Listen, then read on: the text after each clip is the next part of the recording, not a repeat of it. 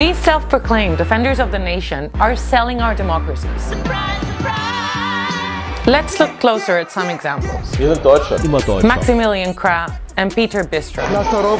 The top of the German far-right list is facing investigation over alleged payments from Russia. In addition, Krah's assistant was recently arrested on suspicion of spying for China. This is Matteo Salvini, a former Italian right-wing member of the European Parliament campaigning against EU sanctions on Russia. And here is Dutch far-right leader Geert Wilders cozying up with some Russian officials. We have so much in common. We are patriotic countries. This visit took place during an ongoing investigation after Putin's government shut down a plane carrying 283 people, out of which many were Dutch citizens. And the list goes on. From the 6th to the 9th of June, you have a chance to decide your future.